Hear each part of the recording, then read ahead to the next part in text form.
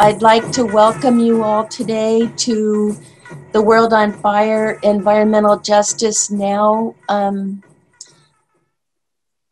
I was telling my husband this morning, this has been my, my dream of putting this together for a couple of years. And I'm just so grateful uh, for the for my colleagues and new friends for doing such a beautiful, expressive job and flowering far beyond what I could have thought of. I'd like to start today by honoring the First Nation people in whose land we are. This is Nisenan territory, Maidu, Miwok, Yokuts, Pomo, tribes coming through this area. I also want to honor the non human relations that seem to be so forgotten in the discussions of climate change. The trees, the tree people, the birds, the animals that we share our planet with are suffering from the fires, they're suffering from the air pollution, they're suffering as much as the people that we share our planet with. I'd like to welcome you all today. We have a pretty wonderful group of people um, before I introduce them, though, I would like to thank uh, Manuel Barajas, Heidi Sarabia, Herman Barahona, and the other organizers who helped make this uh, event happen.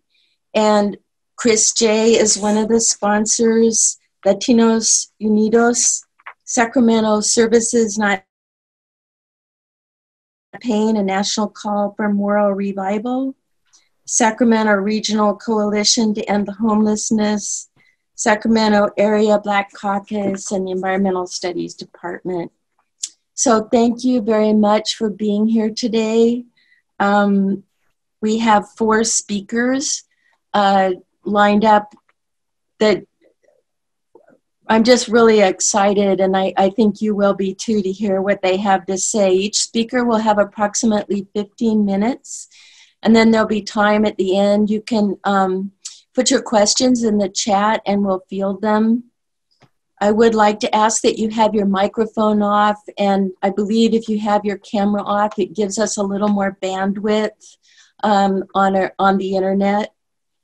Uh, we will answer questions at the end of presentations. And with that, we have four speakers today, which to me are a very nice blend of power and vision and expertise. And as I introduce the speakers, I'd like to tell you why this is so important to me.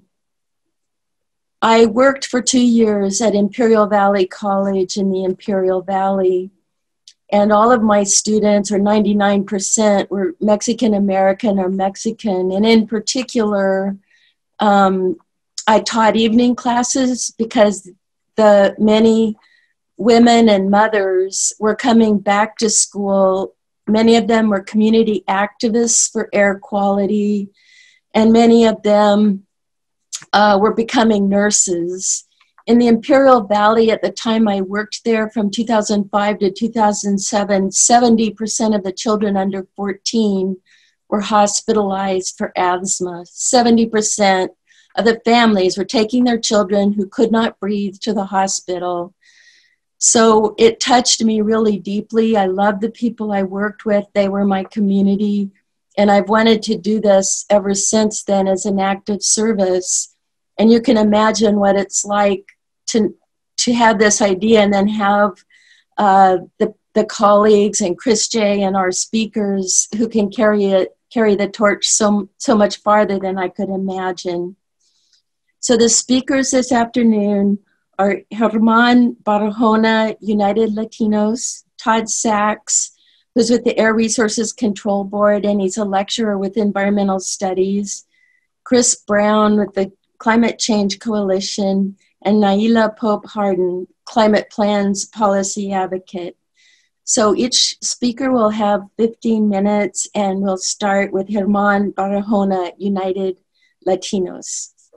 Thank you, Michelle. Uh, it's an honor to be here. Thank you for to all the members of CRISJ, and, and of course to our audience who has been uh, very engaged today. Uh, uh, it's, a, um, it, it's a real honor.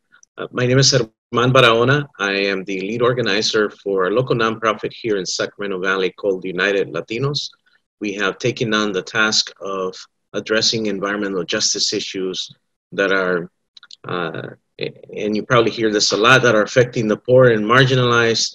But for us, it's really a matter of life and death. And this is why we are we have taken on some really interesting partners who are willing to work with us and push for a movement that's going to begin to make a difference in our systems that are supposed to be serving uh, everybody in this community. And um, I look forward to the conversation today. So I invite everybody here to take a look at our United Latinos website, unitedlatinos.org. We started about 12 years ago here in the Sacramento Valley as a voter registration and civic engagement group. And over the years, uh, the many members of the Latino community have uh, joined this group to, to discuss all the different social justice issues that are affecting the almost 400,000 Latinos that live in Sacramento County. One of the things that we started with a couple of years ago that really caught our attention on, on environmental justice was that we were learning that Latinos who are Medi-Cal, and, and these are very low income families who, who are earning less than $2,000 a month. And use Medi-Cal as their insurance to go to the local hospitals, the local federally qualified clinics both the, the patients and the hospitals and clinics were telling us that the majority of the folks that are going to the ER are suffering from chronic respiratory conditions, asthma, cancer, heart disease, high blood pressure. And now, while we know that there are many factors that uh, create the situations, one of the coincidences, and I'll call it a coincidence, I'm not a scientist, I'm not an expert in environmental justice or climate change, but what I am is a person that works with communities to hear their stories. And the coincidence that we kept finding across our house meetings, our church meetings, our community networks is that Latinos who were visiting these ERs or these community clinics were coming out of the very same neighborhoods that the state of California declares as an environmental justice zone. And what that means is that these are the most polluted areas when it comes to water and air. And these levels of contamination have an aggregate effect where families are affected from the fetus to the time that they, they, uh, they get old and die. This is an entire generational, an entire lifespan of poisons that people are breathing and drinking and of course, it shortens lifespan and it creates all kinds of havoc in families. And the more and more we met with families, it's funny when you go into a big room and you would ask at a church, how many of you know somebody who has asthma? More than half of the group in that big room of 200 people will raise their hand and say, We do. So then we began to meet with uh, environmental justice experts in town. Uh, I remember when I first met with Katie Valenzuela a couple years ago. Chris Brown, Naila Pope and we were getting a sense of, of how serious this issue is. Uh, so, with the conversation of different community leaders who have been here historically uh, for the last uh, 40, 50 years, they decided to focus our efforts and with United Latinos to fight this issue because here are one of some of the things that we found just on the surface of this conversation. I won't go into the technical stuff, but let me just show you this map real quick. And by the way, you're welcome to uh, visit our website. We have all kinds of useful links to how to register to vote, uh, what your ballot means, uh, where you can find official ballot locations.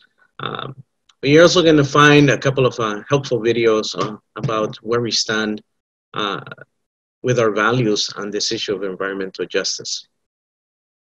So if you see this map here on my, uh, I guess it would be on my left, on the left side of your screen, those balloons there represent all the federal air quality monitors that are installed throughout the county to uh, alert the local regulation, regulating companies, uh, agencies from the county and the state on air quality in the region. Uh, one of these coincidences, of course, is that you look at here an entire South Sacramento area, from the Vineyard, Florin, Franklin Corridor, everything that's pretty much South Sacramento doesn't even have one federal air quality monitor. So we began to ask questions. We went to AQMD, we went to the, uh, the State Air Resources Board to ask why is it that South Sacramento and even some parts of North Sacramento don't have uh, these monitors in proximity to some of the biggest polluters that are in those areas.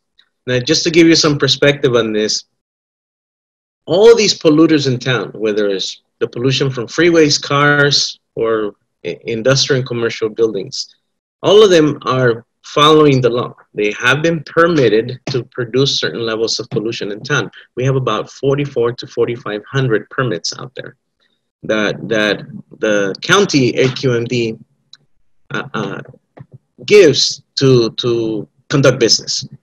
The problem is that most of them are concentrated in the poorest communities of Sacramento County.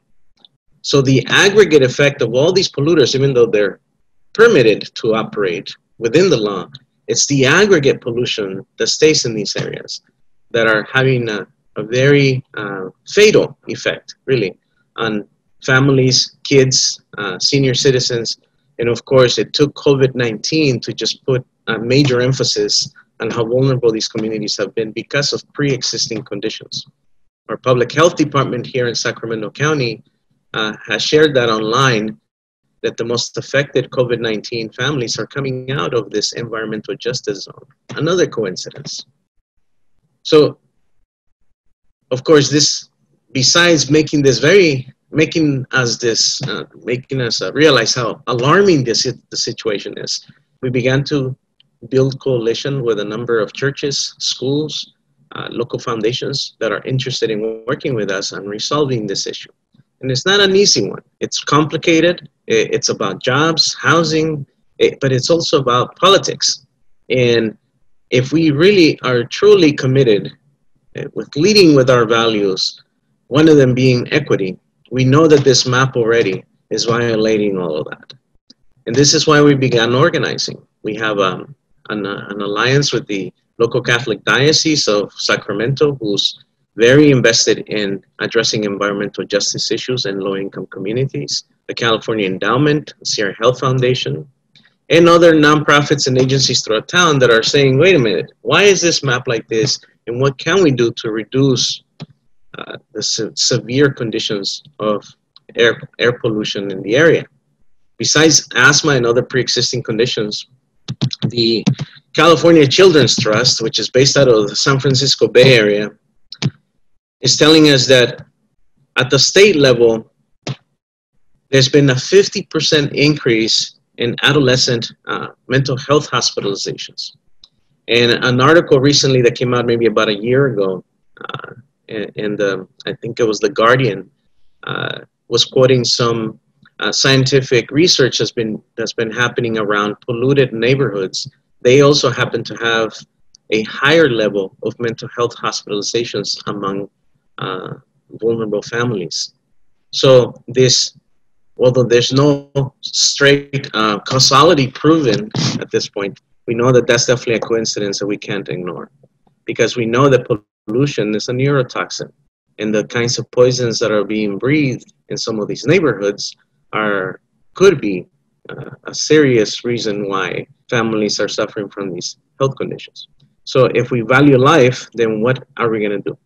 as everyday ordinary people like myself, we decided we want to organize, we want to create awareness, and we want to push for policies like the one that we're pushing right now to increase better air quality monitoring so we really know what's in the air. One thing about air monitors is that you have to understand that air monitors have to be in close proximity to polluting sources to be able to analyze or capture the, the data that's needed to analyze and what's poisoning people. And if we don't have anything there, then we don't know what's in there. Uh, so this is one of the main reasons we're organizing here today. Uh, I'm going to pass it on to the rest of the members of this panel so they can um, make the presentation. But one of the reasons that we're here today is because we want to create more awareness. We want to make sure that communities are, are doing something uh, positive about this to push your local elected officials and regulators to improve quality of air for the poor and marginalized in these neighborhoods. Um, there are all kinds of issues that we can address here today, but this is in a nutshell what United Latinos is taking on here in the Sacramento Valley. Uh, we're working in Yolo County, we're working in Placer County, and uh, one of our biggest partners right now is, um, besides the ones I mentioned earlier, is the Sacramento Tree Foundation. Because one of the things, the fastest and most effective things that we can do is capture carbon and with that, we need trees. Well, another coincidence that we're learning is that poor areas have less trees than the wealthier areas in Sacramento County. And why that is, it's not because poor communities don't want trees, it's because the way that they're maintained or sustained are much different than the way they're maintained and sustained by government agencies in low income communities. So these are some of the policy issues we want to fix, reverse, or get rid of altogether so we can have an equitable uh, quality of life for even the, the, the smallest amongst us. And, that, and that's the one commitment that we have made is that, you know, we cannot move forward with technological advances and all these wonderful things that are happening in California as the fifth largest economy in the, in the world. We would like low income families to also enjoy the fruits of all that, all that success that's happening in the state. So I'll leave you with that, Michelle. Uh, I'm happy to answer questions or how you want to handle the, the panel at this point.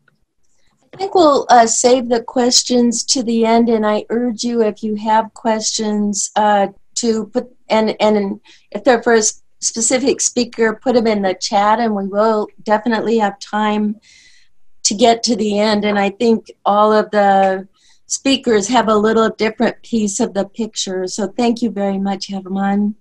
Um, our next speaker is Todd Sax. He has 25 years of experience in the environmental field and started working at the California Air Resources Board in 2000 on environmental justice issues. He's currently the chief of CARB's Enforcement Division and a part time lecturer in our Environmental Studies Department at Sac State.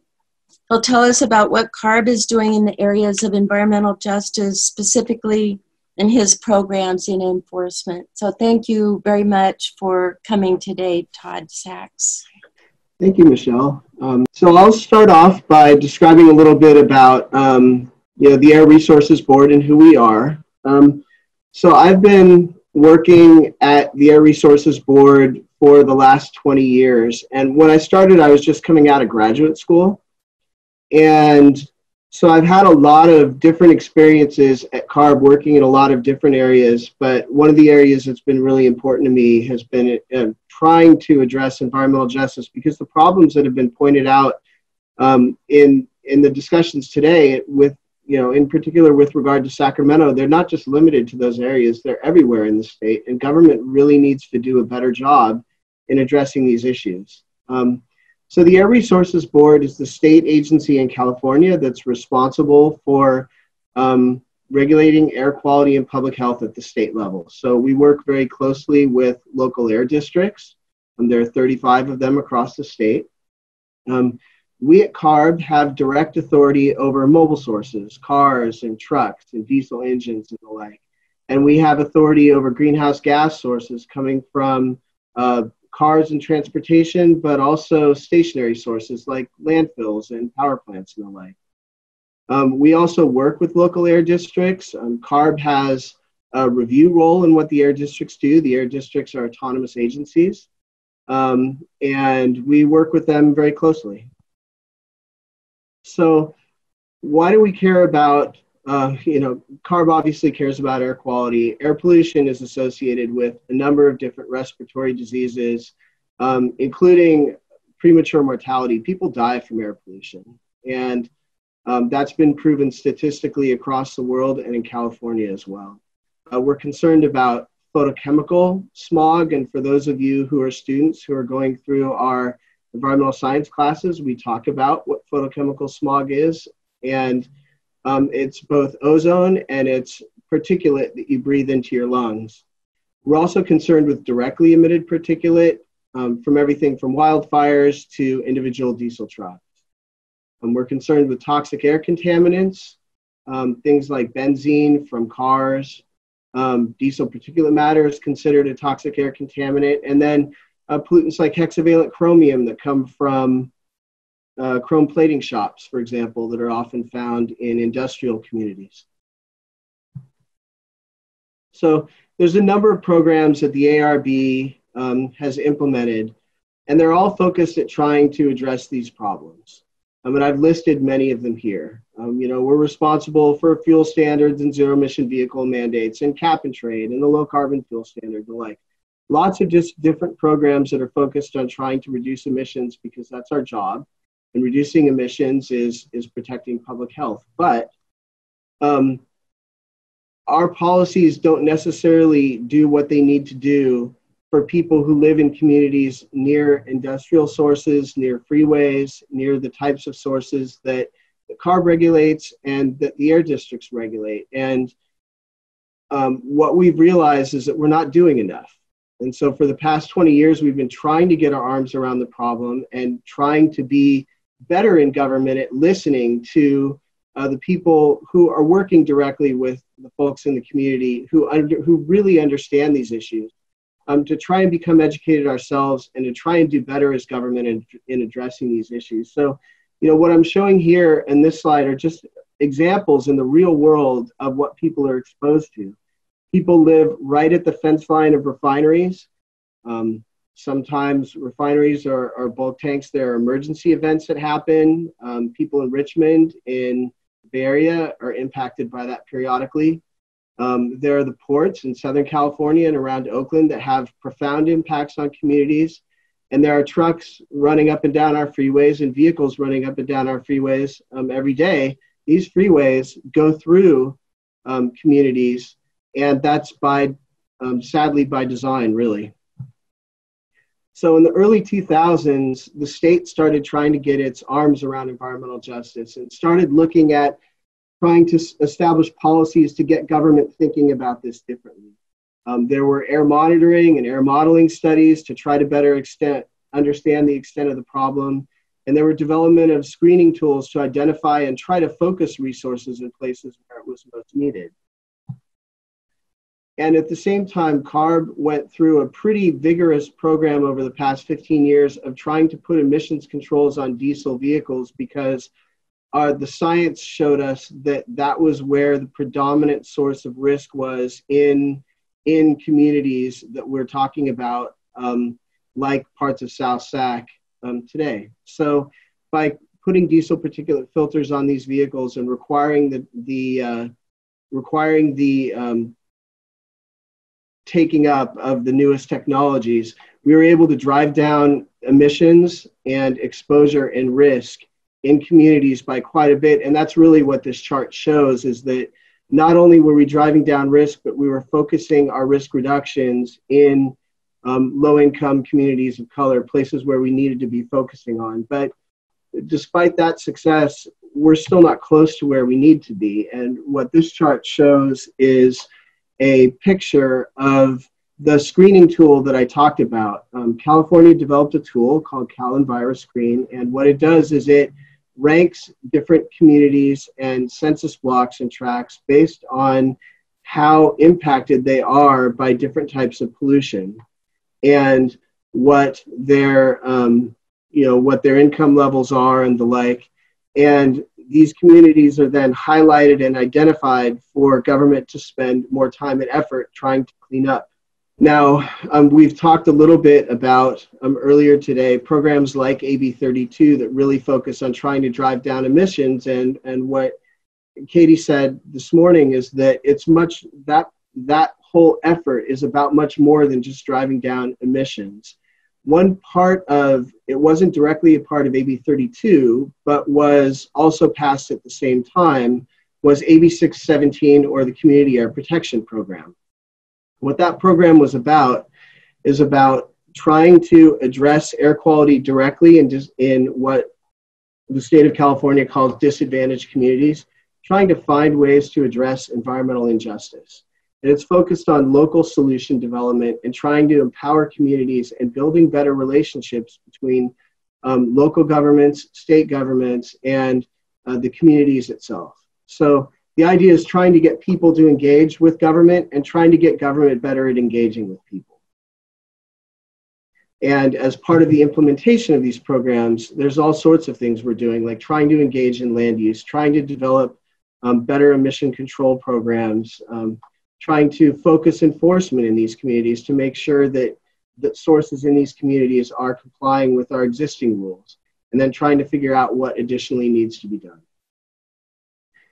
There are a number of communities that have been selected across the state, um, and they're shown here. Um, we're focused in all of these communities, and that's just really a start because um, for all of the communities have been, that have been selected, there are many more that have not. And so what we're trying to do is build in our programs a way of addressing these issues more broadly than just 617 communities.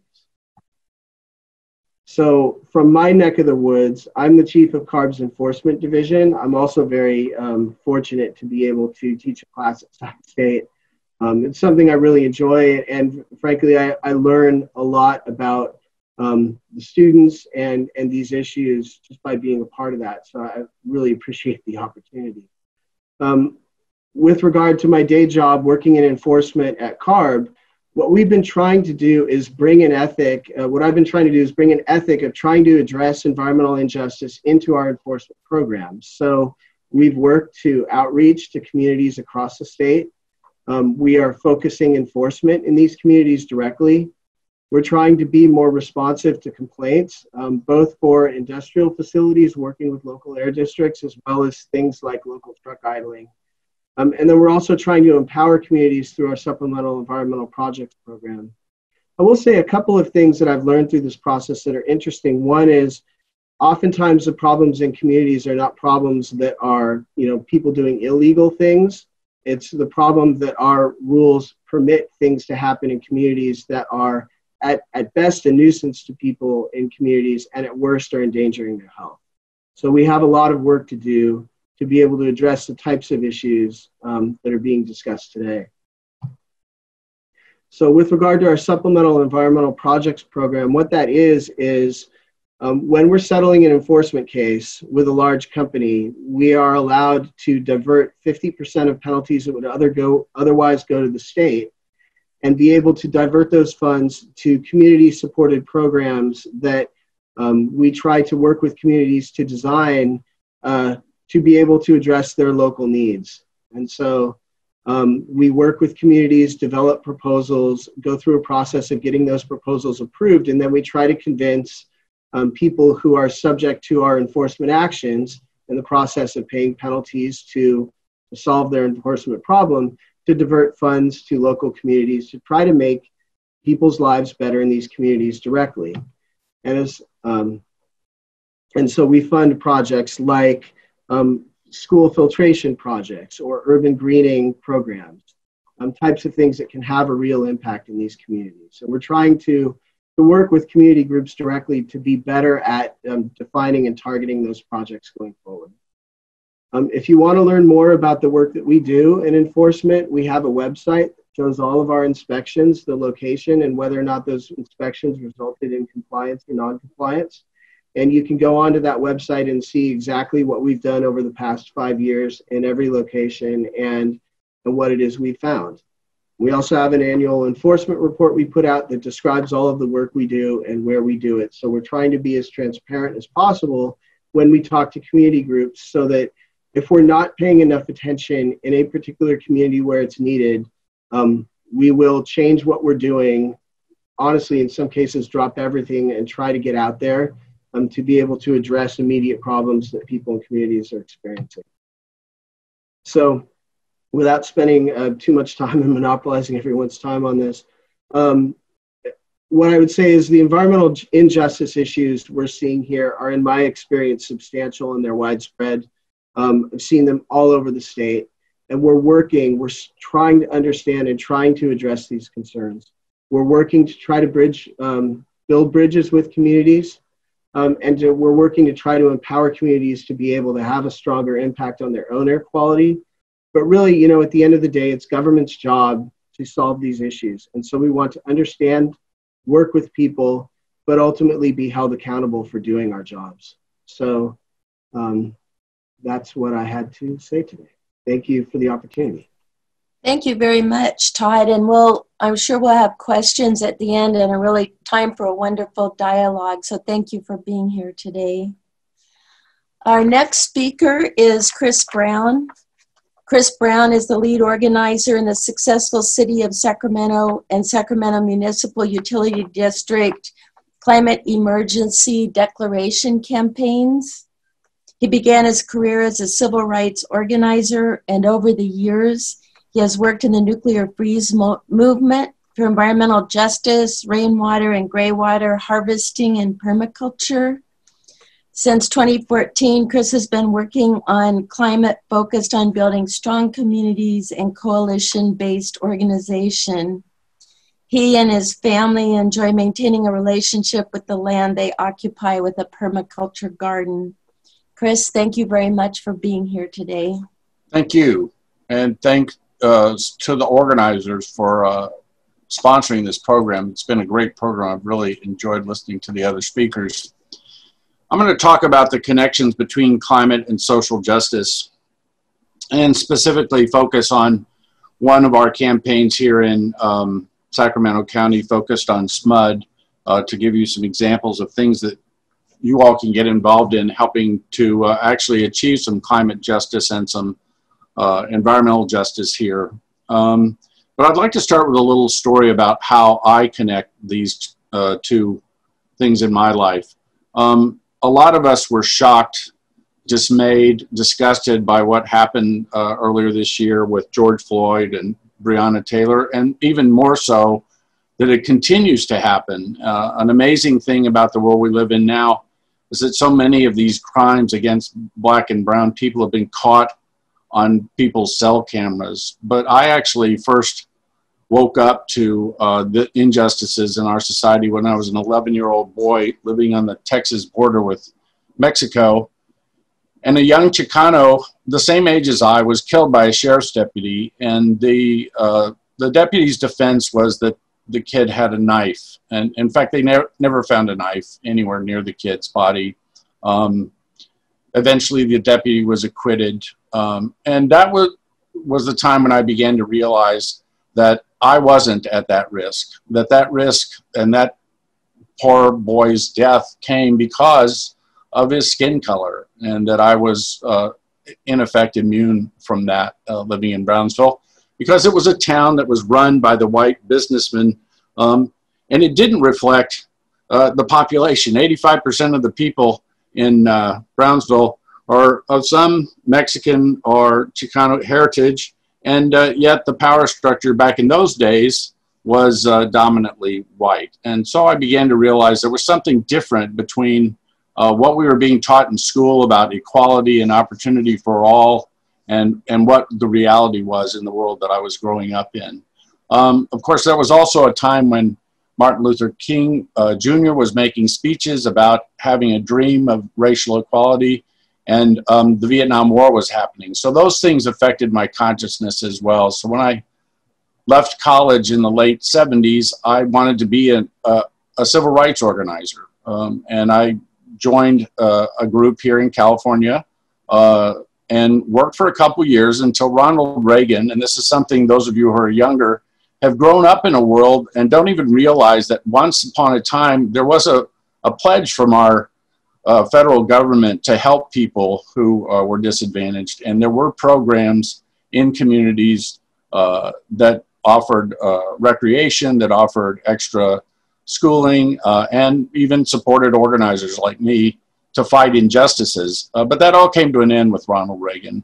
And over the years, um, as Michelle mentioned, I went through a number of different organizing jobs and ended up uh, focusing a lot on water conservation. And that's what brought me back to California uh, back in the mid aughts. Uh, and then I left my job running a statewide water conservation group to uh, focus on climate and joined up with a group, a coalition here uh, called the Sacramento Oil Trains Coalition because there was a proposal to bring 100 car long uh, volatile oil, crude oil trains through Sacramento the two major lines, train lines here. One goes through Midtown and downtown. The other one goes uh, right down through South Sacramento uh, alongside 14 different schools. And we built a coalition and we worked with groups around the state and we, we won. We won uh, and got those uh, permits denied for those trains to come through this town. And we reorganized ourselves, uh, or actually just changed our name, decided we would keep an EJ focus on the work we did, and we call ourselves the Sacramento Climate Coalition. Two years ago, we adopted the Climate Emergency Campaign, which is an international campaign. More than 760 uh, local governments around the world have adopted a climate emergency. And they're basically saying the Paris Agreement adopted in 2015 is not enough, it's not working. We need to do more and we need to do it faster uh, when it comes to addressing the climate disasters, which I'm not going to go into a great deal because we've seen them all on the news here in the last few weeks as wildfires burn across California. The, um, but what I am going to talk about is some two of the key elements of the climate emergency demand. One is climate justice. Um, one of the core demands of the climate emergency declarations is that the frontline and marginalized communities, which we've heard about from other speakers today, Katie uh, gave a great uh, presentation, uh, are addressed directly because they're already suffering from climate change. They're already suffering asthma, as uh, Herman uh, told us, and uh, they're already suffering from pulmonary heart disease. They're already suffering the health consequences of the warming climate. They've historically borne the brunt, as uh, uh, Todd and Herman and Katie uh, all pointed out, of where we put the worst part of our technological society, the polluting industries. Uh, they need to be at the table. You can't come up with solutions for them that don't include them in the design of those solutions. And finally, they also need to benefit first. The programs have to be designed so that they address those injustices directly. So that's part of every climate emergency declaration that we support. Uh, there's 100 uh, plus communities here in the US, 41 in California, counties and cities that have adopted this. This is uh, a core demand of the Climate Emergency Declaration. It also calls for a just transition to recognize the fact that people who work in the fossil fuel industry do so because they have to pay the bills. They're not. They, I'm sure they'd have be fine if they had a job that wasn't polluting the planet. And we want to make sure that those kind of jobs are provided for with regard to job training and to make sure that the people who will be uh, those who lose jobs uh, are the first ones that have access to the new jobs in a um, renewable energy future. This also, though, includes regenerative agriculture and ecological restoration.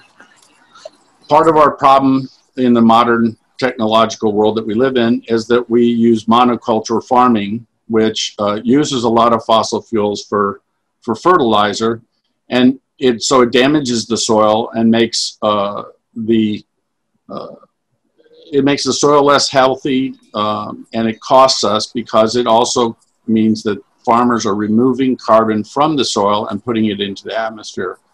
Um, we need to change that. We know how to change that. There are re regenerative agricultural practices that can be done, and our policies need to support that, including having urban farms so that food is closer to the people who need it who live in cities. Likewise, with ecological restoration, it's really important for the for the benefit of humans and for the animals and, and the rest of the living world that we restore the ecology that we've destroyed over the last 270 years because we're all dependent on it. We all live in a world that's completely intertwined and interconnected. Uh, the, the health of a, a river, of the soil is connected to our health as well. And so the final demand there is provide maximum protection for all people and all species of the world. So those are a couple of the core demands that are in these climate emergency declarations. And I'm going to switch over to talking a little bit about the one that we won at SMUD uh, this summer. SMUD has um, five natural gas plants, and um, we want those shut down by 2030. That's another part of the, the declaration, focusing on getting to zero emissions by 2030. And the SMUD board of directors agreed to study how they would do that. that's a, a incredible victory, an incredible commitment on their part, because their existing plan was to get down to uh, 80% uh, emissions by 2040, 80% uh, reduction of emissions by 2040, and now they're looking seriously at 100% by 2030. But the ones we're most focused on are represented by these three stars on this map. Essentially, the Campbell Soup plant, the Procter & Gamble plant, and the McClellan Peaker, because they're in disadvantaged communities. The people who live near those plants are suffering from the air pollution of those plants, as well as suffering from the carbon dioxide and other pollutants that create global warming. Um, so we'd like to see those three plants shut down first. You can see here on this uh, chart uh, that they're you know, not the most important in terms of the power production. They could be the first ones shut down. Um, the one that uh, SMUD depends on the most is the Cosumnes power plant, which is down near the um, old Rancho Seco nuclear power plant, and that one uh, is actually the cleanest of their five plants. So we are really pushing hard to get them to shut down the most polluting plants and the ones in the disadvantaged communities. I do want to acknowledge the fact that SMUD is doing some great programs when it comes to sustainability. They are committed to providing financial incentives to people to switch to heat pumps, which can be both your air conditioning and your heating in the winter instead of using natural gas. They are providing uh, incentives for people to move to electric vehicles by providing charging. And they are they do have programs that are focused on uh, low income communities where they provide free or deeply discounted um, equipment but we need more resources. Uh, the problem is if we want to get there by 2030, it's not going to be easy.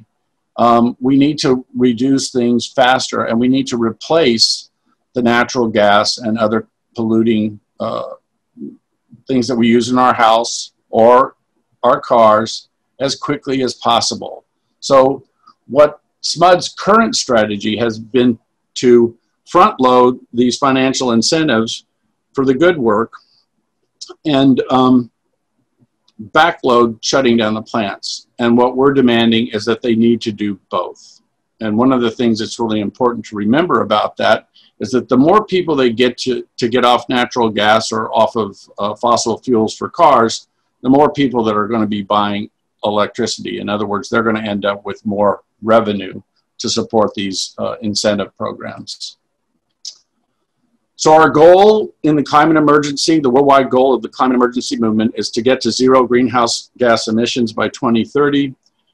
It, it stems off the understanding that the Paris Agreement is actually going to cause the deaths of hundreds of millions of people, tens of millions of people, over 150 million people at least, uh, based on scientific projections, live on islands that will be completely inundated by seawater uh, if um, and another several hundred million people will have to move away from the coastlines of the world. Um, if we, even if we keep to warming to 1.5 degrees centigrade. So that's not enough. In 2018, uh, the International Panel on Climate Change reported that in fact we are on track to, for anywhere from three and a half to four degrees centigrade warming. So we must do more and we must do it now. And one of the things to remember and to focus on is that the same systems that benefit from social injustice in our society are the same ones that are benefiting from climate pollution, uh, where they value wealth over health, where they value property over uh, humanity, um, and where they basically discount the impacts on the vast majority of people, especially poor people, um, they are they are who we're going to be fighting for the next 10 years to turn this ship around. There's the contact information for the Sacramento Climate Coalition, and I welcome any of you to get involved with these campaigns. Thanks a bunch.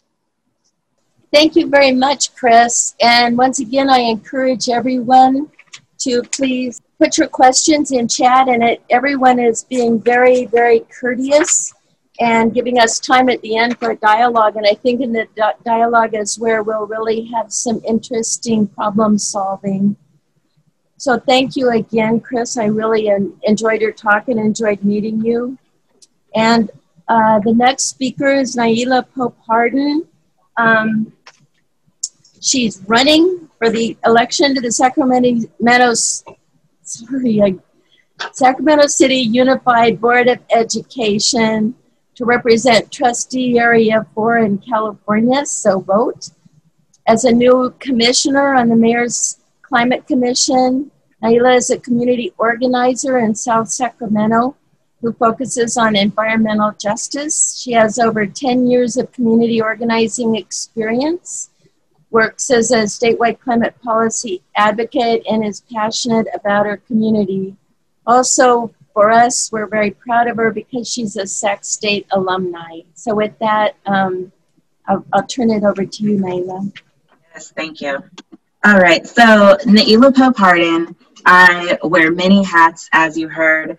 Um, I am the policy manager at an organization called Climate Plan. We um, are 50 organizations across the state that look at the intersection of transportation, air quality, housing, um, oh gosh, I should know these off the top of my head, but we make sure that the state is staying accountable to their climate goals. Um, and so we advocate at a statewide level to make sure that when we say that we want to really help disadvantaged communities, that we're actually doing what we need to do. So I'm not completely wearing that hat today. The hat that I'm wearing is the community organizing hat because um, I've been organizing in South Sacramento for the last, for over 10 years um, around environmental justice. And so that's what we're going to talk about today. I think the easiest way for me to tell it is by just telling the story of my neighborhood in South Sacramento so we can get a look at what environmental justice looks like. Um, so this is the lovely definition, right, that Cal EPA, um, I mean, not Cal EPA, that the EPA has of environmental justice. And it is, for me, one of the most beautiful and affirming pieces of text that government has written. Um, I think if we take environmental out and we just have a conversation about this is what justice looks like, um, I think that would be absolutely perfect. I'm not going to read it for you guys, but um, I'll, I'll pause for a moment so folks can read it and kind of just reflect on some thoughts about it.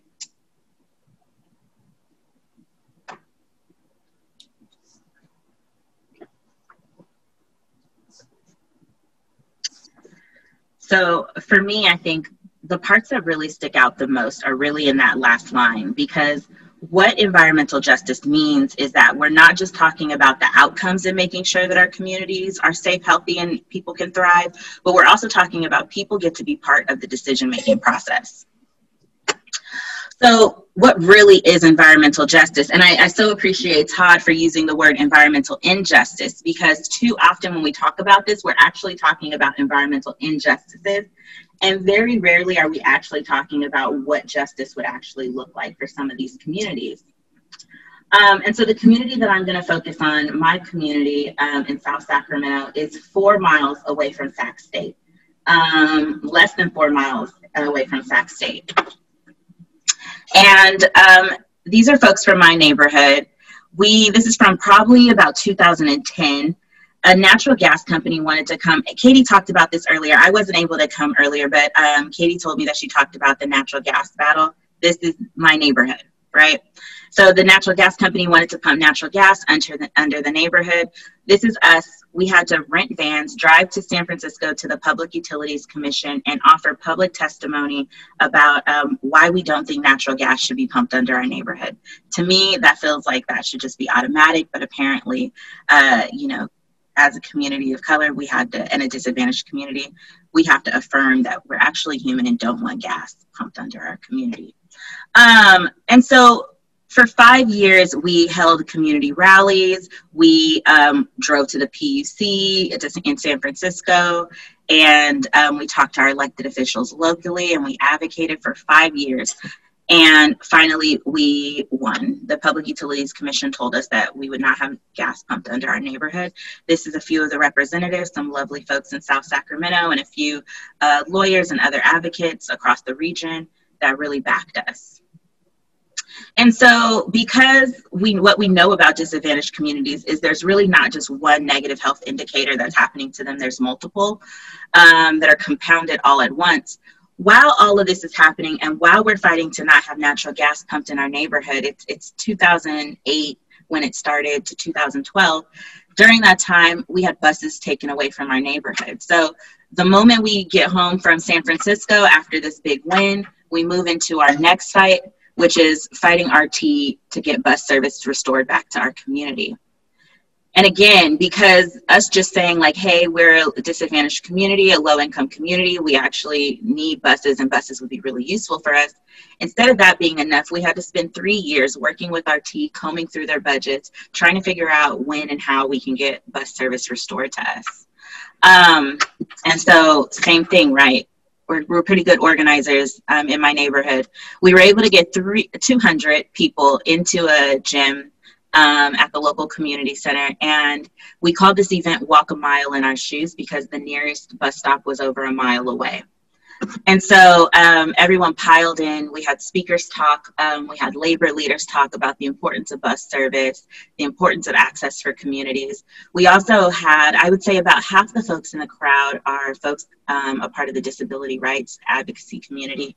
And one of the issues, too, is not only is it a mile away, what not only was the bus stop a mile away, but there also was a low tree canopy um, so there's no trees along this route, and the sidewalks are horrible. And so folks with wheelchairs would actually have to ride along the main street um, in order to get to the bus stop. So that was a three-year battle where we're working with RT, trying to figure out how we can get our bus service restored. And after three years, we got it restored. And this is our victory picture. Um, it is. Um, this is actually us standing in front of Chando's Tacos. Um, the one on Power Inn and Fruitridge. Our neighbor, the bus run, ran right through um, the neighborhood and had to stop at Chando's. So the bus picked us up along the route. We went to Chando's, had a nice celebratory, um, you know, meal. So then, I mean, and while this is going on, there's even more issues being compounded and compounded. And so, um, we were sitting in our community center at a neighborhood association meeting and we're just frustrated and tired and we thought what's something that we can do to be proactive. We're tired of things happening to us. We're tired of systems coming in and adding these like oppressive laws and structures and pillaging us for resources taking things out of our community. What can we do that's proactive? And so we um, the community center in this picture would be on the right side. Um, that's that big field to the right is the community center. If you look dead center in the middle of the picture, that's a school. And, and um, in Sac City Unified, that's actually one of the most um, crowded schools per capita. So just, I mean, tons of students going to that school. And then if you look to the left, there's actually a big vacant lot um, that's just almost completely empty. And so we were looking and we said, we see this as resources. How can we, and we started small, right? We said, we just want to do a community cleanup. Um, but at the gate, as you can see, there's a lock on the gate. And we started to have conversations with folks about what it would take to just get the gates open, get bags and pickers, and host a community cleanup. We can in, we can work with the elementary school, the community centers right here. Like we just want something that makes us feel good about living in South Sac. Um, and as we started talking to folks, we realized that there was actually a ton of grant opportunities available to turn this not only into a community cleanup, but into a whole creek revitalization restoration program. So we were able to secure a few small grants so that we could do some actual community engagement. And here we are doing our first creek cleanup. We have folks that are down at the water who are starting to do water testing. Um, and let's see, here we are. We were also able to, with some of the funding, be able to go to creek tours. So we took about 40 people on a bus to visit other creeks in the region. One of the things when this project started is um, I was told by um, one of the guys who works for the Department of Water Resources, he oversees the grant, and he said, There's a grant for this, that, you know, we're looking for communities to apply for this grant for projects just like yours. And he said to me, um, Ask me for a Porsche. I may only be able to get you a Toyota, but ask me for a Porsche. Like dream big with this project. And one of the things that we found is, I mean, because we're a community that's so used and so disheartened to like stuff being taken away, when we started having conversations about what's possible, like what do you guys want to see on the creek, we're like, the gate's open. We just want to see it clean. We want to see, um, you can't tell, but under this bridge, we have some of our unhoused neighbors live there, right? So we want to see housing for them. We want to see a place where, the, where we don't want to displace them even further. And that's what we're talking about. And so it really took a lot for us to step outside the box and like ask for a Porsche. Um, and so one of the things we did, we led a creek tour. So we took folks, we took 40 folks from our neighborhood and um, showed them other creeks in the region and what other communities were able to do to remodel and revitalize their creeks. Okay, so we're pretty much done. So this is my little boy. Um, and so one of the things that's wild to me is when we have conversations about environmental justice and we're having conversations about some of our disadvantaged communities, we're talking about it's often like framed like, oh, these communities don't care, they're apathetic, they don't engage, we reach out. No, in my neighborhood, the average income is $30,000 a, a little over $30,000 a year. Out of all the people who qualify to have high school diplomas, 50% of the folks do. We're tired, we're working, we're trying to survive. And in the last 10 years, 10 to 12 years, we've had to be urban planners, we've had to be environmental scientists, we've had to understand hydrological models, we've had to become transportation planners. It's not that we're apathetic, that we're not engaged, it's just that we're tired. And at some point, we want to be afforded the same luxury that other communities that are more affluent and well off are afforded. Because one thing I know for sure is folks that are in Midtown and in Land Park aren't having to advocate for bus service back, aren't having to advocate for um, you know natural gas to be pumped under their neighborhood. Like for them that for those communities that's unheard of. But for my community every couple of years we're having to uplift this conversation about about our humanity and our well-being and what we deserve and so i asked what justice looks like then because we can talk about the injustices in my community and we can talk about the lack of tree canopy and how it needs more tree canopy and access to open spaces and we can have conversations about illegal dumping and and having the dumping plants. And like chris was talking about the power plant um, procter and gamble is not far from my neighborhood. Like we can have those conversations. But what we really need to be talking about is what justice looks like and not just stopping injustice, but actually providing some type of justice to these communities that for so long have been at the front line of a lot of these fights. And so I think it's really important that as we're continuing to have this conversation, as we're moving forward, we shouldn't just be talking about getting folks to a baseline. We need to be talking about what's beyond that. And, um, you know, like, again, what justice actually looks like. So I use this picture of my little baby boy, uh, my little black boy. He is the sweetest, most adorable little thing. Uh, the purest thing I've ever done out of all the organizing. That's the purest thing I've ever done. And as his mother, um, I'm, I'm super proud of the community work that I do.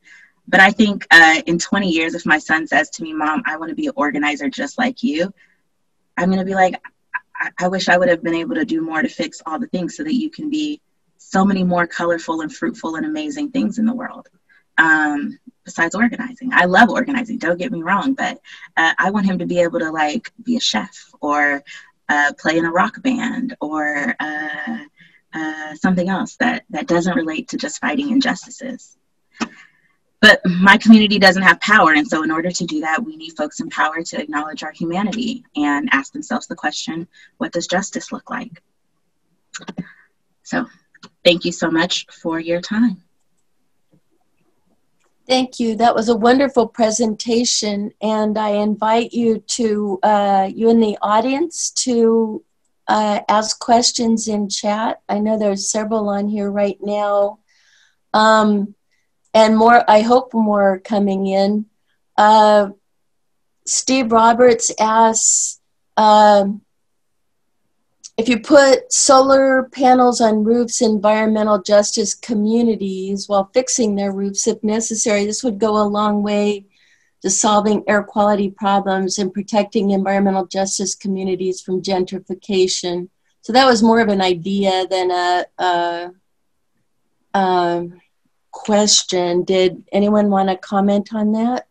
Sure. I, I think that um, Katie pointed out one of the problems that uh, Grid Alternatives has run into, which are the rules which say, oh, well, you know, if you need some structural improvements, there's no money in this uh, bucket of money to do that. And that's one of those structural problems that we have to fix. When we, uh, when we have the rules of the road that say, yeah, we've got some money here at SMUD to help pay for that solar uh, collector, but we're not going to pay to make sure that your roof is strong enough to hold it, you end up with no solar collector. So it's uh, really, you know, uh, a part of the structure of these programs that has to be revised and, and repaired so that we can actually achieve these goals. Uh, here's another, this is mostly thank you, Nailah. Inspired every time I hear you speak. Um, Octavio asked to everyone, do you see the work you did still in effect today here in Sacramento? And I think by in effect, meaning things are sort of improving from your, your community activities. I think it's from all, for all of you.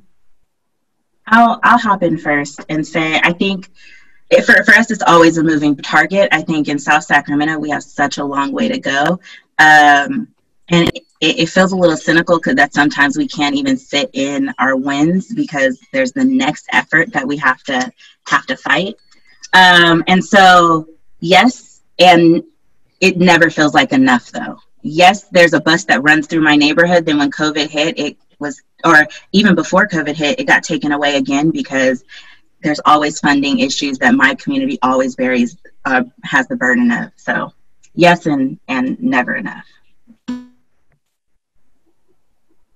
I think that um, for, for anybody that's interested in, in contributing in this, this kind of fight, it, you have to have the patience to build relationships within these worlds, right? Whether it's your local church, your local neighborhood association, and, and stay with it for the long run. I think that, um, you know, Hollywood has probably ruined our perception sometimes of how we win, right? It's not uh, we win one victory and there's credits behind us and it's all good and happy. That's not the way it works. It's a it's a long term commitment. It's a marathon. At the same time, there is uh, an opportunity to learn something about yourselves as you get involved. This is an opportunity for you to put yourself to the test because it will test you. And that's actually a better way to learn about how injustice is really felt by very vulnerable families.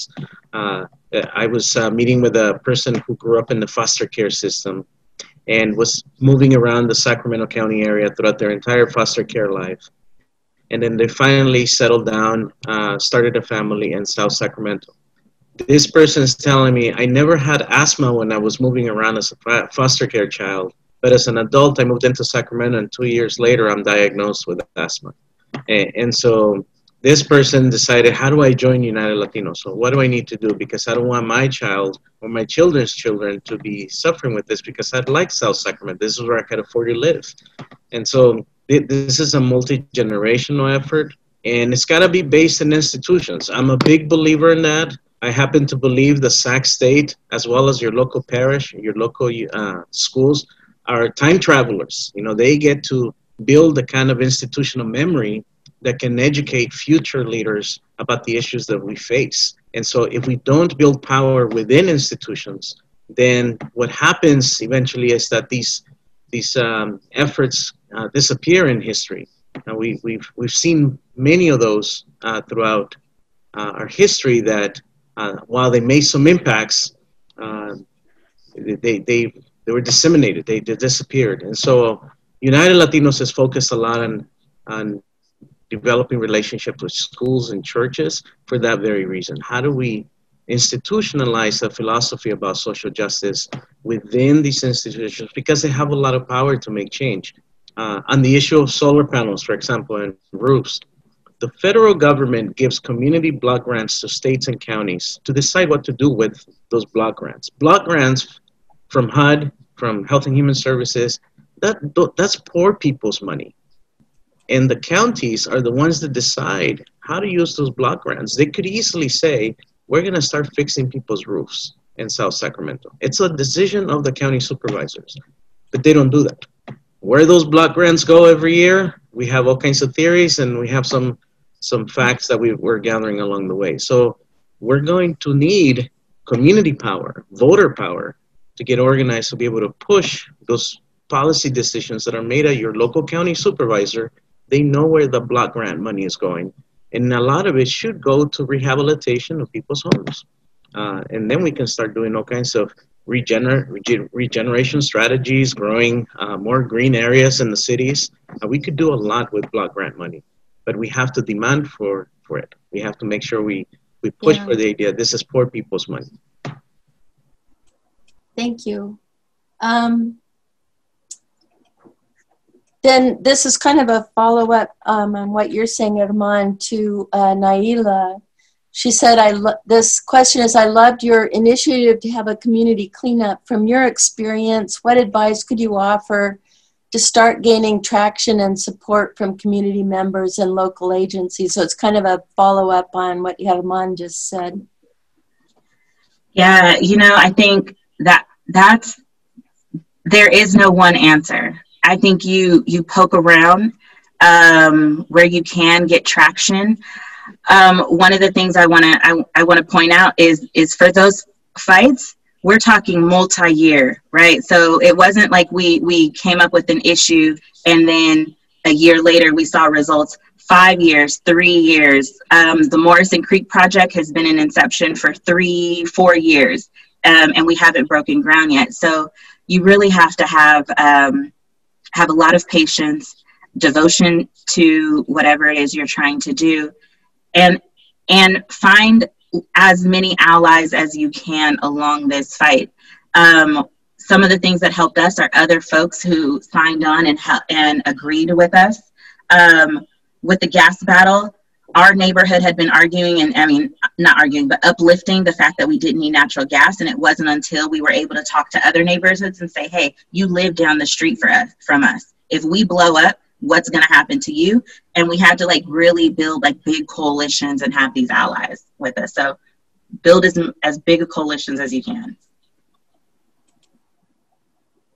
Another question is for for uh, all of you is what can we at Sac State do to support you? How can we as faculty and staff and especially students, since you're one of our alumni, how could how can we better be allies for the for your efforts?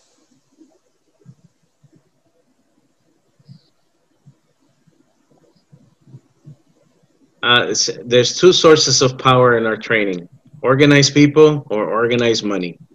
If you if you don't have the time to put your skin in the game, grab your debit card, your credit card, donate your car. Nonprofits, especially the ones that fight for social justice, do not get funded well like the ones that do charitable work. The charitable work nonprofits in this town are multi-millionaire agencies. Look at a nonprofit organization. I'll, I'll be very transparent by United Latinos. We've been on this project for two and a half years, and we ran it on fifty thousand dollars, right? So th- these are the kinds of things that you need to supply resources, organize people, or organize money to make them last for the long haul. And, and uh, this is the appeal that we made to the Catholic Diocese of Sacramento, and they finally came through is saying, "Okay, we'll fund you for five years, and we'll see how you do." So these are the kinds of things that you can do too as an individual. I guess one thing I would add is that there's been a lot of discussion today, even about just getting government to pay attention to what people are saying. I mean, that's just really a starting point, trying to make the government work for people. But really, and I would say this to the students, that really government needs to be of the people, and you are all as students the next generation. And so, what we're looking for at the Air Resources Board in particular is trying to get, um, you know, get the next generation in and set up a situation where you can work from the inside to create change and really help us in in building real long-term and lasting solutions to these problems. Thank you, Tom. So you want to go, Nailah, or shall I jump on in here? You you go, Chris. All right. so, uh, yeah, right now we're focused on the county board of supervisors. Yolo County recently passed a climate emergency declaration, which, uh, you know, really called forth the impacts on farm workers. So they really took uh, environmental justice seriously over there. They have a lot of farm workers in Yolo County. It's a big ag area, but our county hasn't stepped up yet. The city has, uh, SMUD has done a good job of, you know, doing a better declaration than the, than the city's was. You know, if you live in this county and, and are at Sac State and you're young, you have uh, an amazing power at your fingertips, that cell phone and using social media to talk about uh, these issues, to talk about the fact, to send messages to the county supervisors, to put it out there in your social media feeds and repeat the message that we face a climate emergency and our governments have to stand up and do something about it. They have an amazing uh, array of powers at their hands once they decide to use them. As Herman said, they have access to funds, but they also have, uh, you know, the changes that happened in this country in World War II uh, that changed our economy and unfortunately put us on the road in terms of carbon emissions that we're on right now. But it happened in four years. Private business can't change the world that way. We need the governments to step up and use the power they have to, to do good now and to get us off of fossil fuels. So use the power that you have at that little cell phone uh, and, and start expressing your opinion and send it directly to your county supervisor. Yeah, is there time for me to answer still? Okay.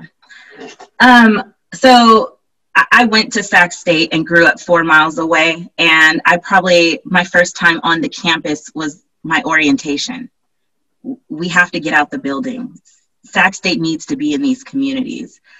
This, this is kind of hard for me to answer too because it's the way that I am wired is um, we can't just have you guys making doing this research, learning all of this for your own good. We need it on the streets. We need it on the ground. Um, like there's so many times where we where we have conversations about hey we don't think this water tastes how it should and they say okay well talk to me about how much lead and parts per million of whatever whatever nitrogen hydrox whatever whatever i don't speak that language if you do i need you to help me like that's I think especially for for we're for students and we're in institutions, we really have to figure out how we make that knowledge applicable. We really have to be in the streets um, and, and just give your knowledge to the streets. If you, if you find a good study, if you are doing a good thesis, get it to the people who can use it and weaponize it. And I mean weaponize it in the best way possible. Like if you give me data, oh, I can use that as a weapon and I, and I need it. Um, so that'd be huge.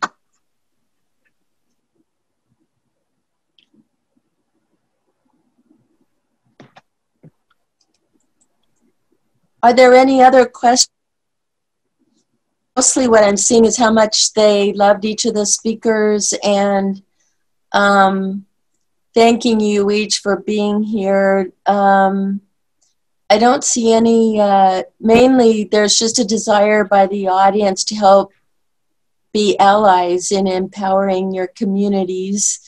And I see that you have your contact information so people can can do outreach and help you. I have a question for Nailah, which is why did you start with the creek? Why was that a community priority? And what about it was a community priority? Um, you know, we thought it was, we thought it would just be an easy, quick win. Um, we thought, like, when we really, our very first moment, we thought we're just going to do a cleanup so we can get folks out into our community. And it ended up like with every issue, right? We ended up peeling back all the different intersections um, that the creek covered. So we ended up having conversations about open spaces, about safe routes to school. We ended up having conversations about what to do with all these vacant lots in our neighborhood. But it really just started with we wanted just a project that felt good and was quick and easy. And it turned out a lot more complicated. Way more complicated.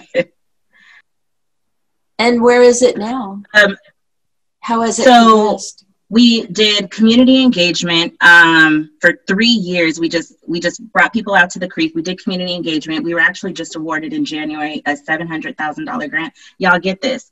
We were given a seven hundred thousand dollar grant, and they told me we can only do a plan with that. So for in South Sacramento, we thought seven hundred thousand dollars. We have half the creek built right there. They were like, no, we can get you guys a plan and to like the permitting process. So we were just awarded that money um, because of the COVID and the pandemic. Everything kind of shut down, but we're planning on ramping up some community engagement and do the modeling and all of that stuff. Well, I was awarded a $350,000 grant for my work at Bushy, Bushy Lake and Arden Arcade, and it's the same thing, a restoration plan with no work yet. So I'll, I'll, I'll see if I can help you in some way. Are there any more questions or are we good for today? Well, I'd like to personally thank each of you, um, Herman, Todd, Chris, and Nailah. It was wonderful to meet you. Um, and uh, do you have any final parting words that you'd like, or ideas that came to you before we before we uh, end our meeting today?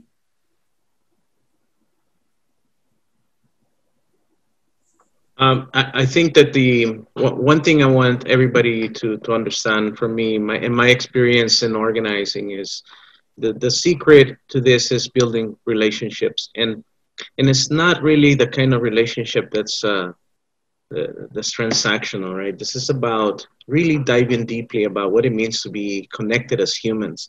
Technology has really created such crazy divisions. Look at us; we're living this Orwellian nightmare through the screens Eh, and I really think organizing is more important than ever because of that. How do we build real relationships?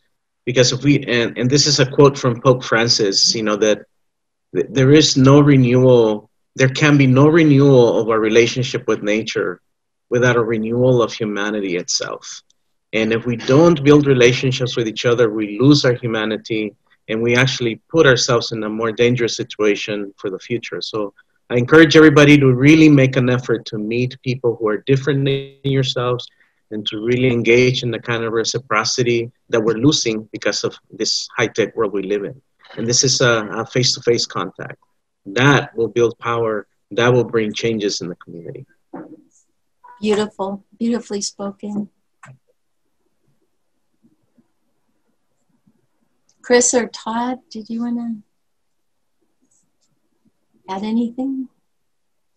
Just want to encourage, uh, it's great that uh, attendance today has been so high and there are so many of the folks on the line that are students and want to learn this kind of thing. As Nailah said, uh, we need you in the community. Um, it's difficult sometimes when you're a student to find time to be involved in the community, but you do bring uh, a certain level of input uh, and when you can shape your research when your classwork ties in with the needs of the community you live in, um, it's it's invaluable. I mean, these organizations, Herman and Nailah we can't afford to hire researchers and and do you know big studies. So uh, having students uh, help out uh, by focusing your interest in a way that it benefits the community is a huge contribution.